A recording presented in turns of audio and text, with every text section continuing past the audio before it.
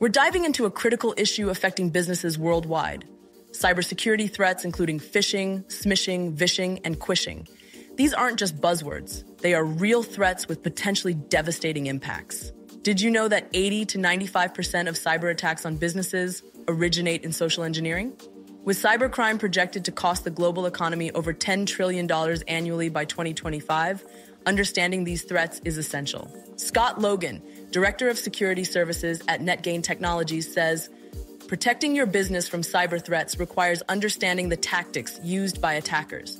By testing and training your employees about these methods, you're empowering your business and helping safeguard your data. Let's start with phishing, one of the most common forms of cyber attacks. It involves fraudulent attempts to obtain sensitive data like login credentials and financial information, usually through deceptive emails. Moving on to smishing, which is phishing through SMS. It's an attack where you might receive a text message that appears to be from a legitimate source, prompting you to click on a malicious link or provide personal information.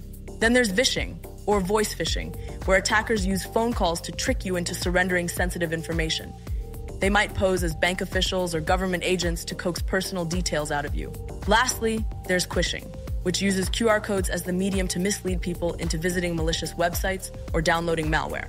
These methods all aim to exploit human psychology and the trust we place in digital communications. By recognizing these tactics, businesses can significantly bolster their defenses against social engineering.